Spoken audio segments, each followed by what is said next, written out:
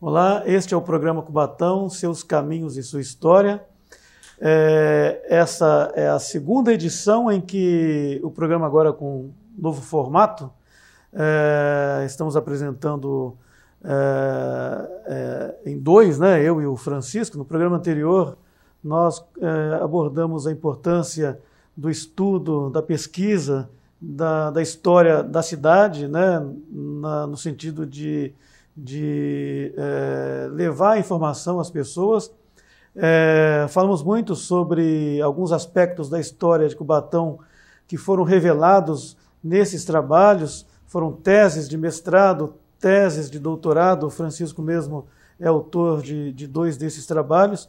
Várias outras pessoas que escreveram, se debruçaram sobre a história local e transformaram isso em trabalhos importantes que são objetos de estudo de diversos outros. É, inclusive, é, é, quando é, se pensa, por exemplo, em, em, em, fazer, agora nós estamos em período de, de, de eleição, né? quando, se, quando se pensa em, em, fazer um plano de governo, muitas dessas informações históricas são utilizadas. Né? Então a gente é, é, percebe a importância de se conhecer a história para você projetar o, o, o, se trabalhar no presente projetando o futuro, não é isso? Nós comentamos no programa passado uh, sobre o livro Cubatão, Seus Caminhos e Sua História, né? Nós trouxemos aqui mais uma vez, que é o livro que dá nome, inclusive, ao programa. E esse livro é, foi fruto de muita pesquisa. Ele foi editado em 2009, né?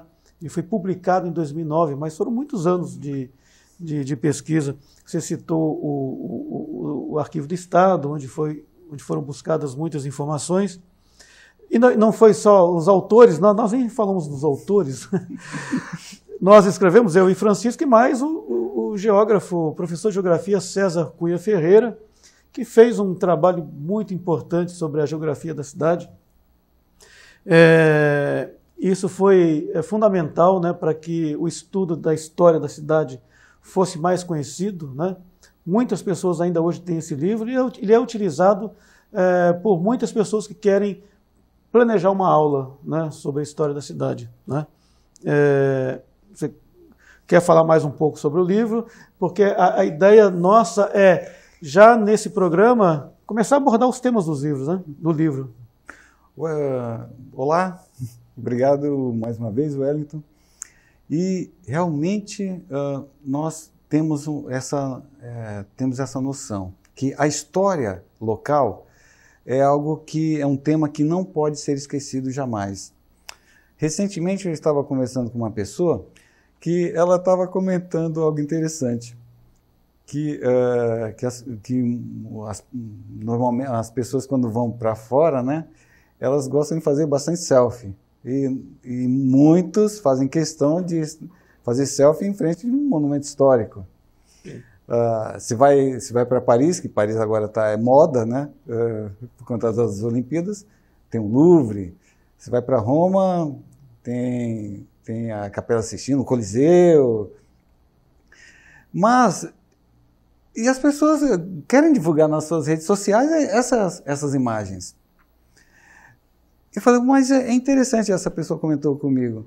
É interessante que as pessoas não têm tanto orgulho de fazer uma selfie na sua cidade. Eu falei, olha, é verdade. Por quê?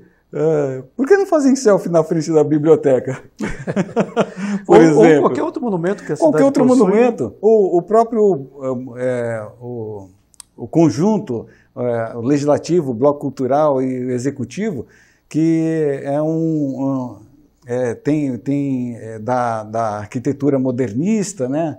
que lembra o Niemeyer. Embora hoje não esteja tão instagramável assim, por conta da necessidade de uma, de uma reforma, de um restauro, mas não deixa de ser né, um, uma arquitetura importante. Né? Sim, né? sim. O, os monumentos da Serra também, os próprios sambaquis, que, que, é, que também é, são, são referências aqui na cidade. Ou seja, Wellington, uh, nós como uh, cidadãos cubatenses, nós precisamos Eu diria que nós não precisamos apenas, mas nós temos o direito de conhecer a nossa história local. É direito, isso daí deveria ser, constar no, no, no, plano diretor de qualquer cidade. É direito do cidadão dessa cidade conhecer, ter noções, ter a, acesso à sua história local. Isso é um extremo, de extrema importância. E foi justamente movido por essa intenção que você falou, né, nós resolvemos criar, ou melhor,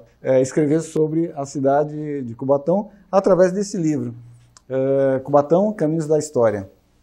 Uh, até mesmo um, um, o, título já foi, é, já foi alvo de críticas né, em alguns trabalhos é, acadêmicos, e, e, a pesquisa histórica é interessante por conta disso, porque os pesquisadores eles não vão, não vão deter a, a verdade absoluta de qualquer, de qualquer, qualquer tema, né? Mesmo que você desenvolva um, uma dissertação, uma tese, então, e o, o, o professor, meu orientador, ele comentou esse aspecto.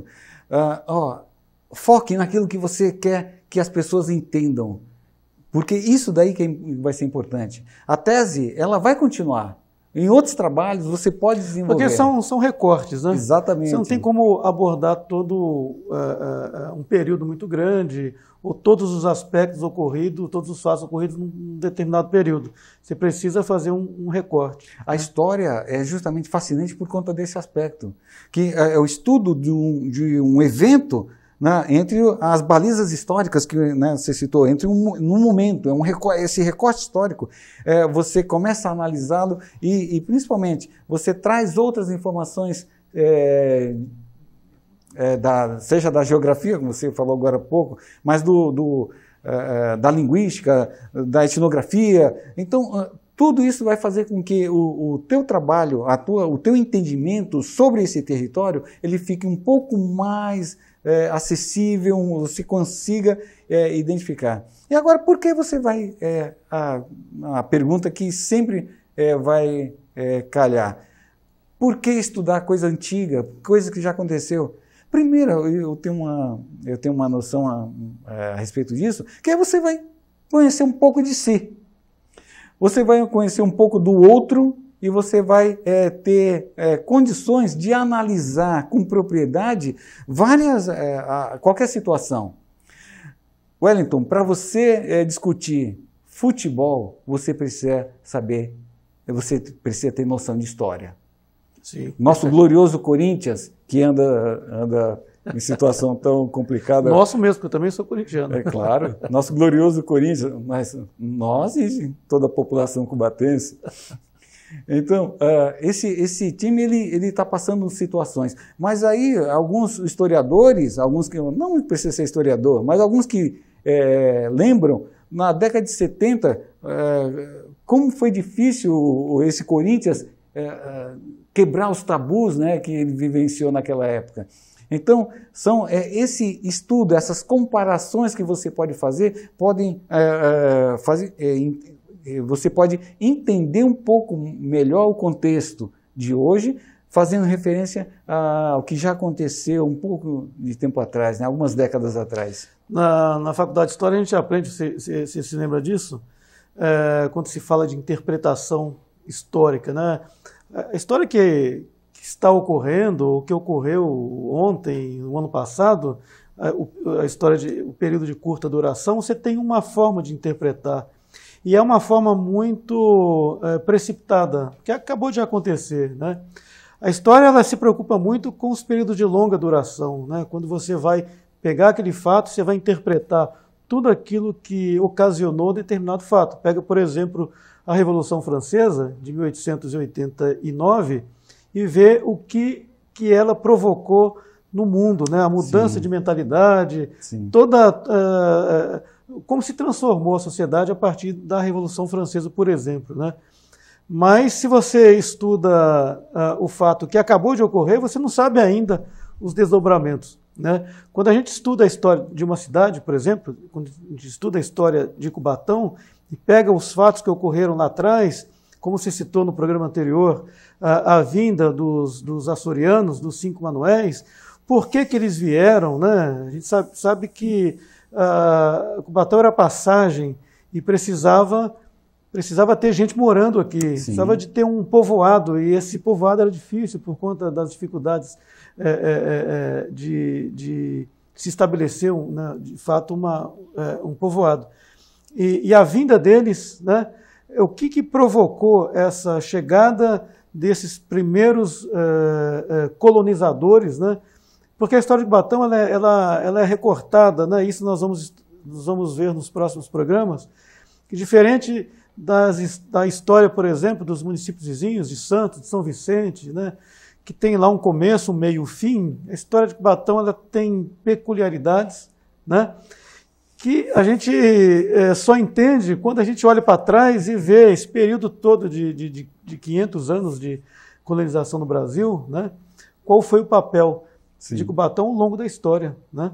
Nessa questão da, da, ao longo da história, Wellington, você citando do, dos açorianos, me fez lembrar um, uma documentação que eu peguei na tese, né, que eu tive acesso na tese, ah, que foi um, um, artigo publicado em Londres pelo Hipólito José da Costa, que é o editor do Correio Brasiliense, que é, apesar de ser português, ele estava é, radicado lá em Londres, porque ele fazia, era um crítico é, feroz do, do, da coroa portuguesa. Eu falava que eram incompetentes, que não, não, conseguiam desenvolver nenhuma colônia, justamente porque eram preguiçosos e tal.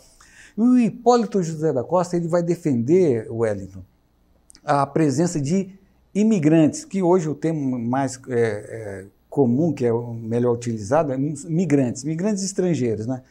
E, e, e ele vai bater também fortemente nesse ponto, ele, ele vai precisar, é, as colônias precisavam de migrantes, fosse qualquer um, espanhóis, uh, italianos, franceses, principalmente alemães, que era o, o, o carro, seria o carro-chefe, né, o, o, que estaria no gosto né, do, dos governos, né, a, a, a vinda de, de, de, migrantes alemães. Mas o Hipólito José da Costa, ele vai, eh, em determinado ponto do artigo dele, ele vai falar, oh, mas só tem um elemento que eu não aconselho, porque são preguiçosos, porque são rudes e tal, que são os açorianos. É, não, não sabia dessa informação. Então, esse, esse aspecto da história é, que a, os açorianos eles vieram para Cubatão. Só que em 1811, e foi logo, logo pouco depois desse artigo publicado, é, que os, os açorianos vieram para cá. Ah, mas esse não era de bom grado, eles não tavam, eram bem, bom, bem vistos. No entanto, eles fizeram parte da nossa história. Uh, eles, é, é, enriqueceram com a presença deles essa história local. E é isso que nós vamos continuar é, é, ouvindo né, aqui do Francisco no próximo bloco da importância então aí da, da, da participação dos portugueses né, aqui, aqui em Cubatão. Até já. Internet fibra ótica de qualidade é aqui. Planos de internet de 100, 200, 300 e 500 megabytes. Planos completos de internet empresariais e industriais. Telefonia fixa nacional ilimitada. Benefícios exclusivos como filmes, séries e cursos a partir de 200 megabytes. Suporte técnico 24 horas aplicativo para Android e atendimento especializado. Contrate agora. Manda link Soluções em Internet. Aqui é a Floricultura Central. Você encontra plantas, mudas, vasos e arranjos belíssimos para todos os gostos. A organização é tão perfeita que se transformou em um cenário fotográfico para as noivas. Mas não é só isso. Aqui você encontra muito mais Estamos falando do espaço Café com Flores, um cantinho agradável para um café com as amigas, coffee break e pequenas reuniões. E para você que prefere um evento mais intimista, o Café com Flores tem um espaço para mini casamento. Outro serviço que não sai de moda são as cestas de café para datas especiais. Aqui tem também apresentações do coral Sambaqui, com declarações de poesias e muita música. Outras atividades bem movimentadas são o brechó brunch e o bingo de plantas e mudas. Como se vê, o Café com Flores é um mix de empreendedorismo com muito verde, arte, cultura e entretenimento. Café com Flores é na Floricultura Central, Rua Cidade de Pinhal, número 130. Telefone 3361-2703. Olá, estamos de volta com o programa Cubatão Caminhos da História. É, nesse segundo bloco, nós vamos aí abordar um pouco mais sobre o, os temas né, que nós estamos tratando. Mas já adiantando o seguinte, o Francisco está com o livro aí, segurando. A ideia é que já nos próximos programas né, a gente comece a, a, a estudar os temas deste livro. Muita coisa nós já falamos aqui, mas falamos eh, no, no, no formato anterior, né? É, eu abordando o tema sozinho, acho que é, é, em dupla, acho que esses temas vão fluir muito mais, né? porque junta as experiências né? de, de pesquisa. E eu queria que você falasse um pouco sobre o livro, Francisco, como é que ele é dividido, é, quais são os principais é, é, temas abordados, né? E, e é uma coisa né, que a gente deixa já avisado, né, as pessoas interessadas, esse livro está esgotado há muitos anos. Aliás, já há uma necessidade hoje de se fazer uma segunda edição, é uma ideia que estamos trabalhando nisso, né? Mas hoje, quem quiser esse livro, ele está disponível em formato digital, né? Basta a pessoa, basta o interessado acessar o, o www.novomilenio.inf.br, está aparecendo aí embaixo. É, esse livro está lá disponível, né? É, é, é para download gratuito e para estudar, para acompanhar o programa, inclusive, né? É um, é, uma, é um instrumento aí de, de, de trabalho e de conhecimento histórico da cidade. Wellington, no, no caso do, do Caminhos da História, Cubatão Caminhos da História, eu considero como um resgate de várias informações. Informações com respeito à documentação, porque é, tanto que, uh, aquilo que nós tivemos acesso no, no, no, Arquivo do Estado, mas também em arquivos aqui da região. Arquivos da Tribuna, o Arquivo Histórico de, de Cubatão, Uh, imagens, imagens é, do, do, é, do, arquivo, do arquivo histórico também, né, que tivemos acesso, e, e a distribuição dos capítulos, é, nós iniciamos, por exemplo, um, de uma forma bem recuada, há 5 mil anos atrás, quando nós abordamos os, uh, o sambaqui. E o sambaqui é essa, essa construção é, de, desse, desse, desse elemento é, da, da, da, antiguidade, da história é, primitiva, ele, ele, fez com que o entendimento da ocupação humana aqui ela é bem anterior do que normalmente a gente pensava. Que uh, uh, os historiadores uh, Washington Luiz, né, que eram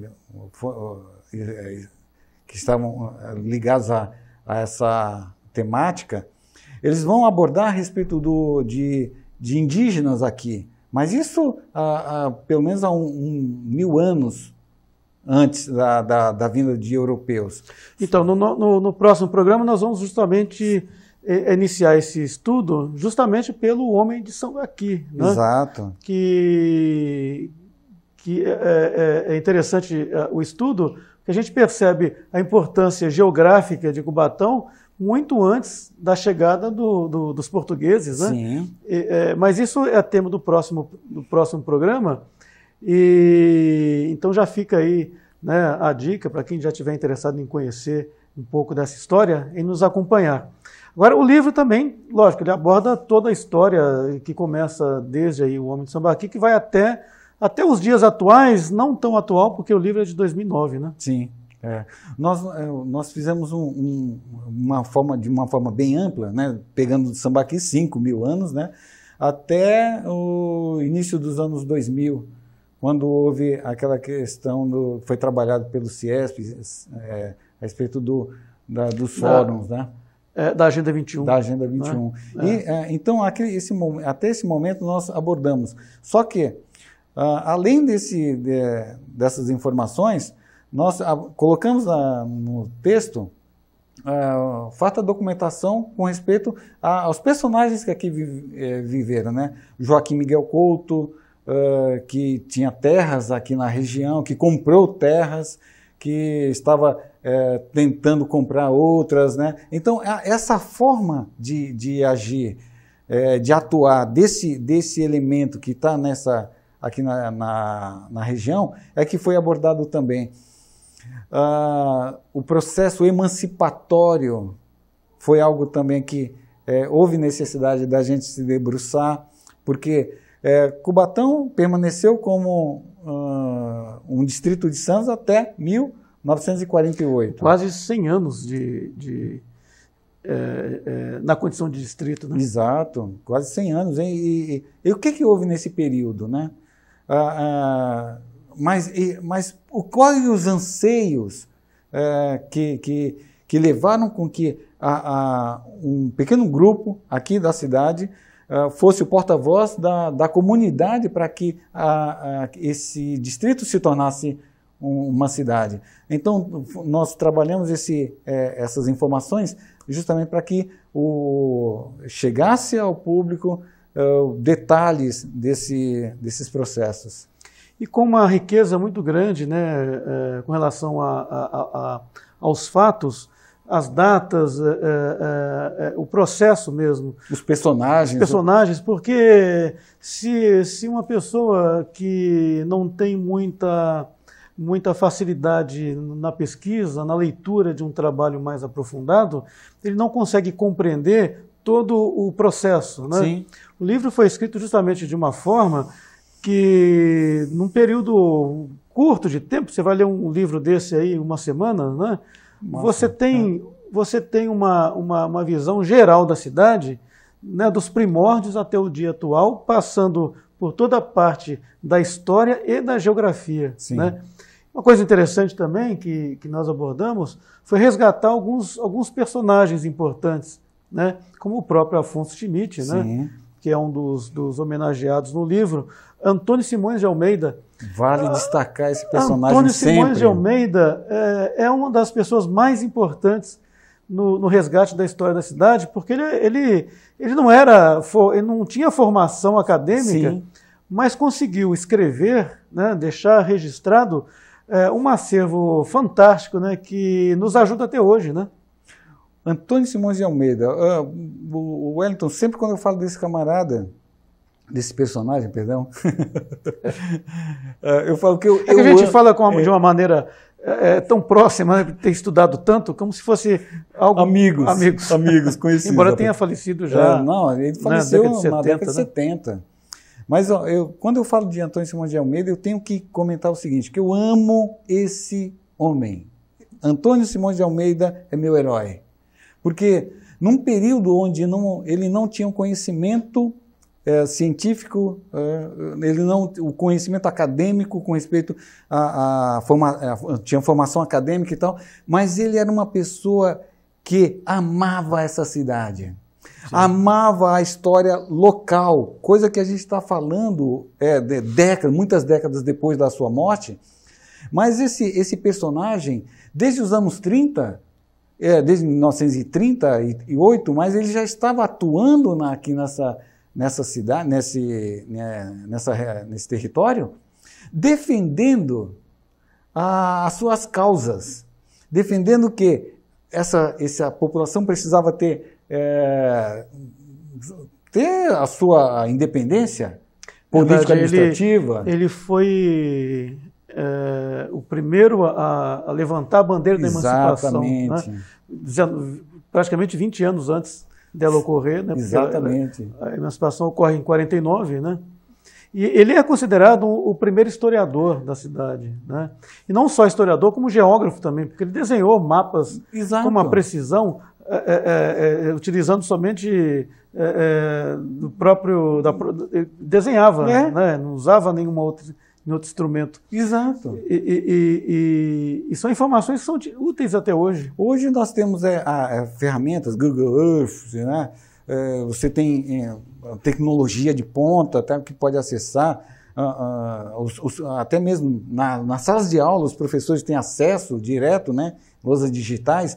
Mas só que quase, 100, olha só, Wellington, que coisa impressionante, quase 100 anos atrás, Antônio Simões de Almeida é, ele já laborava, já estudava a, a, sua história local, já valorizava, é, já trazia é, informações com respeito ao dia a dia da, da, da sua comunidade que são preciosos. Oh, e vale destacar um ponto, que o Joaquim Miguel Couto é, utilizou muitas informações que foram é, produzidas por Antônio Simão de Almeida. Simão de Almeida, que foi inclusive um dos emancipadores da Exato, cidade. Né? Exatamente. Candidato a prefeito na primeira eleição, né? perdeu a eleição, o eleito foi Armando Cunha. Teve 43 votos, na, né, nessa primeira eleição.